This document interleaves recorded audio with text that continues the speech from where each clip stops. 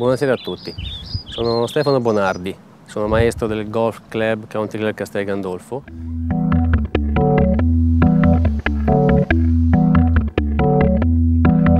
Siamo qui su questo bellissimo campo che nasce dentro a un cratere vulcanico.